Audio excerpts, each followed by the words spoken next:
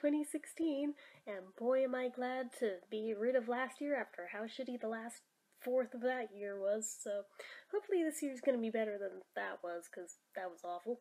Anyway, um, I actually was planning on doing this last night and then didn't get around to it, so I'm gonna do it today. But um, I decided I was gonna do the New Year's tag, so I'm just gonna do that. So, without further ado, let's get started. The first question on here, I've got my laptop on my lap here. Uh, what is a favorite memory you have, or favorite thing that happened from the past year? Well, depends. Uh, the wording of that question feels like it could be interpreted a few ways. Well, right off the top of my head, I'm gonna say, as a YouTuber, my favorite thing that happened was no doubt hitting my first big milestone of a thousand subscribers. Uh, on a personal milestone, well, not really so much mine as family related, but had another one of my nephews be born last year. That was pretty good, especially since he's just a little doll. I freaking love him and trips me out how much he looks like Sammy did at that same age. Just like, wow, those family genetics are so strong there and they just make really pretty babies. They should have like a million more because they're so pretty. And let's see. Um, I don't know that this is so much one event as a meshing of many little events all together that created a bigger event all together, but probably all the phone calls and Skype sessions and just everything with Dave throughout the year. Just, oh my gosh, just feeling that wanted and knowing somebody wanted to spend basically all their time with me around the clock like that and didn't get bored of me somehow. I was just like, that was really cool, and hopefully looking forward to much more of that happening this year too. Um, let's see, is there anything else that really stands out about last year? Um, ultimately, last year wasn't that eventful, so it's kind of hard drawing things from a hat, basically. Um, so those are the ones that jumped to mind immediately, anyway. I'm sure there was probably more, but like I said, those are the ones that jump to mind. Number two, what was your biggest beauty change in the last year? I don't really know how to answer that one, especially since I'm not like a beauty blogger really or anything. Um, well, I mean, depending on how I answer that, I don't know. Um, I mean, right off the bat, towards the beginning of the year, I chopped my hair and I've kept it short all year, which props to me for actually having some consistency for once, since usually I like do it once and then get lazy about it and don't do the upkeep and it grows back out and I hate it because it's long and I hate my hair long and so there's that. And then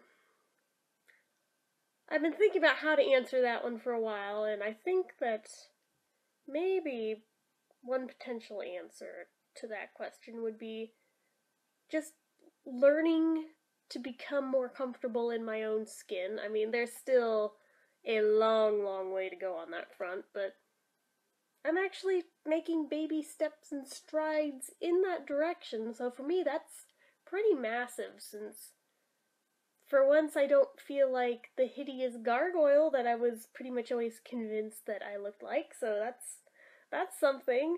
Um, yeah, um, those are the only two things I can really think of to answer that question with, ultimately. So, yeah, if that's not the kind of answer you're looking for here, sorry, I don't really have any other answer. Uh, number three, what is something new that you tried in the past year? Tried curry for the first time. I don't think that's the kind of answer you're looking for, though. Um, Hmm.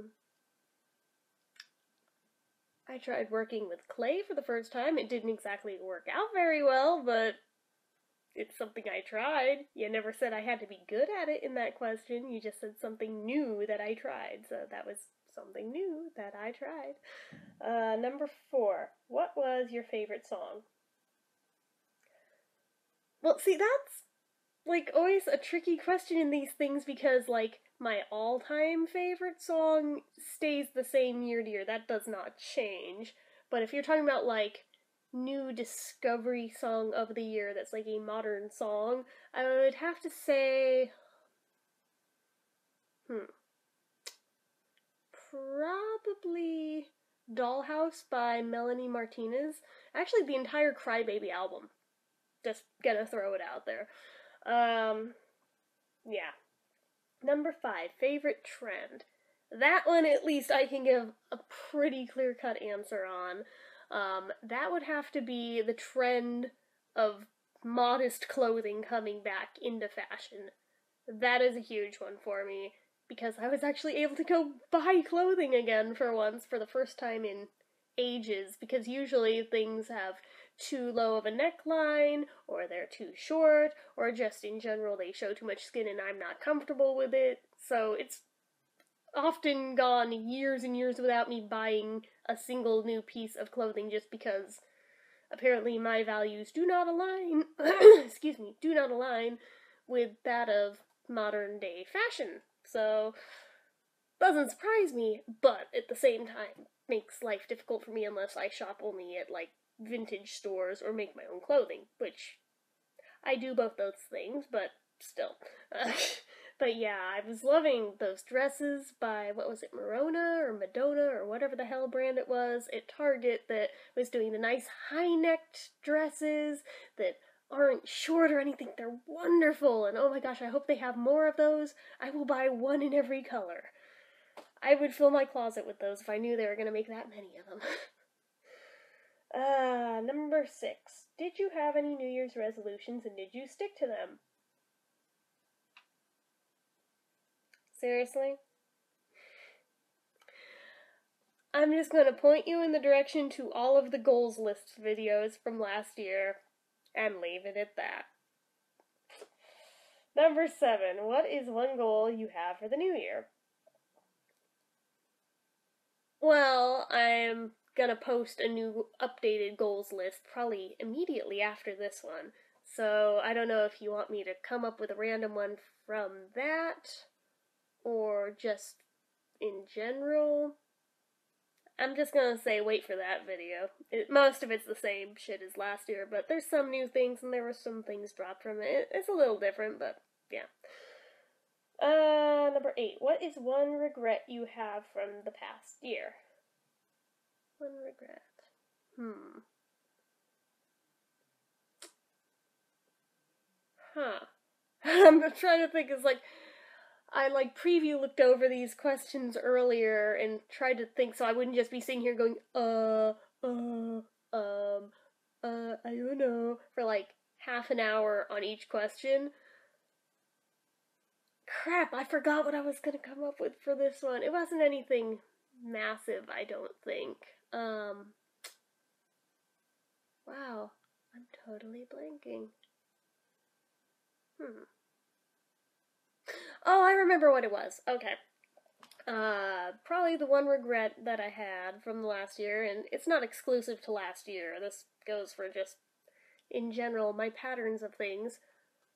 Having a goal to do something, but then the second that I failed to meet it in any way, shape, or form, just bailing on it altogether. That is a horrible habit of mine I've had my whole life.